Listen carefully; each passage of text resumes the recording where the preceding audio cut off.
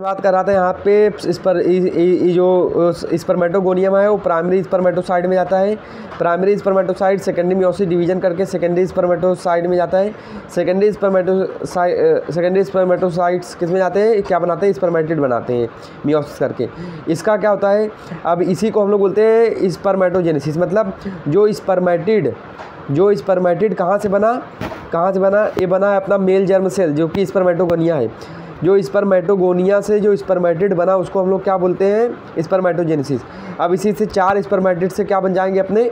Sperm बन जाएँगे। चार स्पम बन जाएँगे। ये हो गया। बात करूँ कि ये ये हो गया अपना तो अगर इसमें बात करूँ कि जो प्राइमरी स्पर्मेटोसाइड थे तो ये अब क्या होगा? ये फर्टिलाइज ये फर्टिलाइजेशन कैसे होगा कि ओवम प्लस स्पम, अगर मिल जाएँगे तो क्या फॉर्म होगा? जाइगोड फॉर्म हो जाएगा। जाइगोड फॉर्म हो जाएगा। तो ओ ओलेसन हो गया तो फर्टिलाइजेशन हो गया। अब फर्टिलाइजेशन के बाद इम्प्लांटेशन तो इम्प्लांटेशन कहाँ होता है? फॉलपेन ट्यूब फॉलपेन ट्यूब के कहाँ पे? एमापुल एम्पुला में होता है। फॉलपेन ट्यूब कहाँ फॉलपेन ट्यूब के एम्पुला में होता है।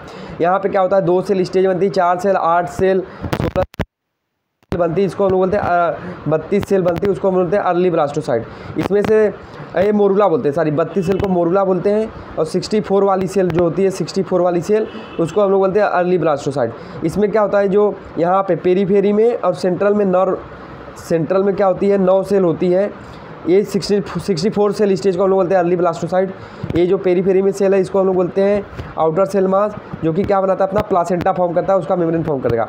और ये इनर सेल मास ये क्या बनाएगा? इम्ब्रियो प्रॉपर बनाएगा मतलब फीटस बनाएगा। तो इम्ब्रियो बेसिकली बोलते हैं तो प्रेगनेंसी में जब 10 महीने का बच्चा होता है, उसको इम्ब्रियो बोलते हैं दस सॉरी दस दस वीक का, और दस वीक के बाद जो नाइन्थ नाइन्थ मंथ तक उसको हम लोग बोलते हैं फीटस उसके बाद तो जो, उसके बाद तो आएगा